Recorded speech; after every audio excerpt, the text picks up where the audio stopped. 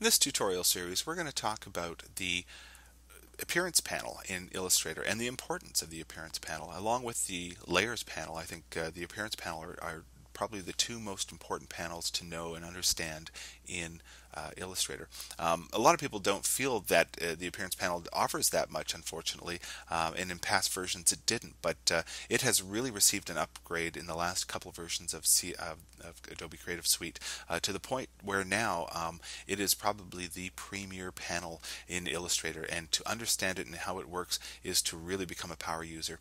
Um, and uh, what we're seeing on this screen here is an illustration that really makes use of the appearance panel and uh, and what it can do in Illustrator. Uh, I'm going to open up the layers panel here and I'm just going to unlock my bird fill uh, layer here and I'm just going to click right there. And you can see that this bird fill, this color, uh, this um, layer that I call bird fill is just simply one object.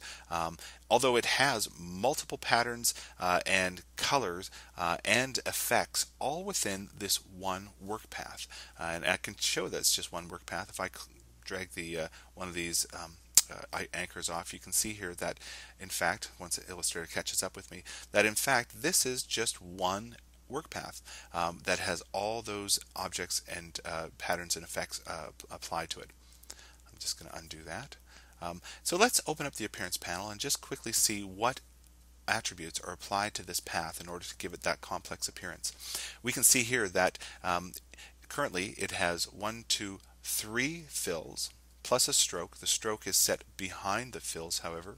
Um, and we have uh, an opacity uh, setting here. If I click on that opacity setting, you can see that in fact this uh, object is set to normal blend mode and the opacity is set to 100%. Uh, there's also a mask that has been um, uh, associated with this shape, but I've turned that off for this demo.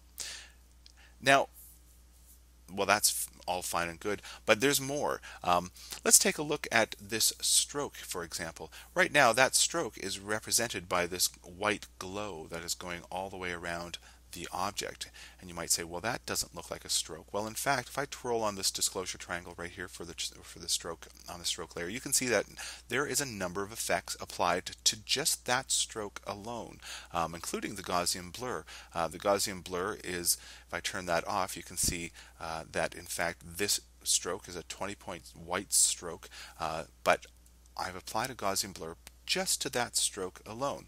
Um, and we'll talk about how we can apply effects to single uh, layers and strokes in just a, a moment. Um, if I twirl that up, I'm just going to twirl down this uh, fill uh, layer here, and this is just our basic orange color that is in the background of this uh, this shape, um, and it has a very um, a simple opacity. It's I think it's default opacity, but you can see that there's another effect applied to that fill, just and that's our inner glow, um, and that's that orange uh, look, if I turn that off for a second, you can sort of see what effect that that um, inner glow has on that shape. Turn that back on. And we'll quickly go up to the next fill. The next fill is a pattern fill. And uh, this pattern fill has been applied through the uh, swatches panel. And we'll talk about how to apply uh, pattern fills in just a moment. But I want you to see that, in fact, this also has a separate opacity setting. If I uh, click on this, you can see it's set to color burn blending mode with 43% opacity. And finally, this color uh, fill up here is uh, another pattern fill with a 25% opacity and set to color dodge in its blending mode.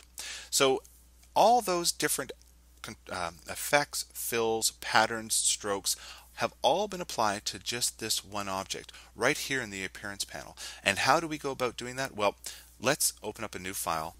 So the first thing I want to do is I want to create a rounded rectangle. I'm just going to choose the rounded rectangle tool draw out a shape on my artboard.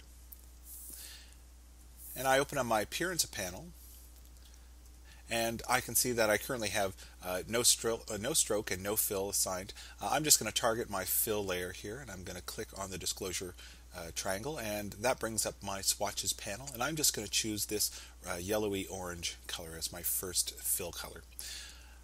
The next thing I want to do though is I would like to create another fill layer so I'm going to go down to my add new fill button at the bottom of my appearance panel. And by default, it's reproduced the fill layer that I currently have, uh, so, uh, I, the one fill layer I had selected. But of course, I want to turn this uh, layer into a pattern fill. Uh, so what I need to do is I'm going to go and uh, select my file drop down menu and select place. And I'm going to navigate to the folder where I currently have my uh, paperpattern.psd file. And there it is right there paper paperpattern.psd select place. I'll say OK and there is my my pattern. I'm just going to pull that off to the side. And and that's fine, but how am I going to turn this into a pattern that I can then fill um, in my uh, this layer here? Well, I need to do something. I'm going to select that file, and um, by default, uh, what happens is um, whenever you place a rasterized image in Illustrator, it just links that file to uh, wherever that file exists on your hard drive. Um, but what what uh, we need to do is we need to embed this um, uh, Illustrator file. Now I've already done, or sorry, this Photoshop file. I've already done this, and so that's why this embed uh, button is grayed out.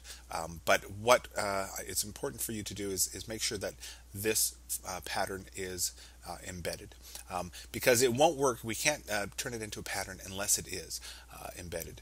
Um, but once you have that file embedded or that pattern embedded, we're going to go to the Edit drop-down menu, and I'm going to select Define Pattern and I'll just type in something like that. And you can see it's updated my swatches panel uh, to include that new feather pattern. In fact, I don't need this anymore. I can delete that. Currently, I have my swatches uh, panel set to show only um, patterns. Uh, if I click on this button here, you can see that I can choose um, I can choose to show all swatches, but I've, right now I've got it to just show pattern swatches, which is fine. It makes it a little bit easier for us to, to see it. Now I'm going to uh, select that shape again, and again I'm going to go to my appearance panel. This time I'm going to target my top fill, and when I click on that disclosure triangle, again my swatches panel shows up, and there is that new pattern that we had just placed and defined as a pattern. I'm just going to select that and there it is. I, that looks fine, except we can't see the color underneath it. Um, this is where I'm going to open up. I'm going to again target that fill layer and I click on the opacity setting for that layer, and I'm going to select color burn for my blending mode. And you can see what that does color burn is a, is a nice way of uh, colorizing artwork. Uh, it, it, works with the underlying color, um, but it, uh, uses a burn setting so that black turns into this warm red, or this deep red. But I'm going to uh, reduce the opacity just a little bit. We don't need it to be that high. And there, that's what I'm going to do. Now, the next thing I want to do is I want to add a um, uh, an inner glow to this object, but I don't want it to sit on top of everything. I don't want it to be applied universally to this object. I would like it to be targeted to just this layer here. So what I can do is, again, I can target that orange layer, and now I'm going to go to the um, FX button, and that's the Add New Effects button at the bottom of my Appearance panel. And I'm just going to click that, and you can see that in fact I have the entire Effects drop-down menu right here within my Appearance panel, which is very handy. And uh, I'm going to go to Stylize, Inner Glow. That'll bring up my Inner Glow dialog box. And I'm going to choose, um, by default, this blending mode is usually set to screen. Um, because I've been playing around with this, it's, it's set to multiply right now. And I want that to be multiply. And I'm going to change the color to um, a deep red. So I'm going to choose red in my hue slider and something saturated and fairly dark in value and I'm going to select preview so we can see what that looks like. Right now we have a very modest um, inner glow applied to the uh, to the inner uh, uh, circle of the, the orange color down below. I'm going to increase the size of that just a little bit though. I'm going to bring that up to about 25. You can see that a little bit better. I'm going to say OK. Now you can see that the inner glow um, has been applied to just this layer. Um, if you would like to see what it would look like if I had applied the inner glow to the entire shape uh, globally, well, I can do that. I can actually highlight that inner glow effect and I'm going to drag down. What I'm going to do is I'm going to drag it out of any particular um, uh, uh, layer uh, target and I'm just going to apply it to that entire shape. Now you can see it's it's got a little bit of a different look now, doesn't it? Um, it's actually sitting on top of both the pattern and the um, the orange color underneath. Well, I mean that looks okay. Um, that might be the effect I'm looking for. But look as a, if I click and drag again and drag that onto that fill, you can see how that highlighted uh, that highlights that um, target layer a little bit differently. And now it's being applied to that color uh, that color layer in a different way, and the um, fill layer, the pattern layer above, is not being affected in the same way. Let's do something else. Let's take this inner glow effect and apply it to this pattern layer right up above. And that has a completely different look. It's actually almost imperceptible what's happening there, um, but it is slightly darkened around the edges of that pattern. I'm going to bring it back down to the uh, fill layer, that orange fill layer, because that's essentially what I would like to have. And we'll, we'll just leave it at that. Now, there's a couple other things I want to, to show, um, and that is right now we currently don't have a stroke uh, applied to this, but I am going to apply a, a stroke to this. I'm going to, first of all, um, select, uh, well, we'll select black for now. And I'm going to make this a fairly heavy weight, a 10 point stroke. Actually, let's make that even heavier. Let's make that a 20 point stroke. What I want to do is to show you that by default, the stroke is being applied um, to the center of the uh, vector shape, meaning that 10 points of that 20 point line is on one side and 10 points is on the other side. Um, but you can see how that impinges on our fill to some degree.